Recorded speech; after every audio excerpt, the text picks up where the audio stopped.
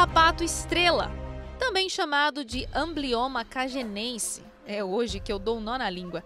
O carrapato estrela é só mais uma das várias espécies de carrapatos e parasitas que existem e certamente você já deve ter visto ou ouvido falar deles. Muita gente até acha normal quando um carrapatinho fica agarrado e aí tem que tirar.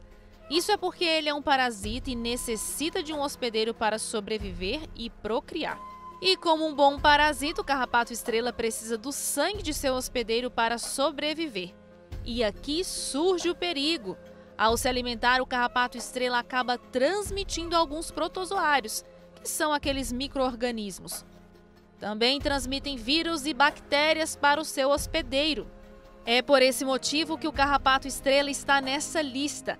Ele é responsável por transmitir a temível febre maculosa,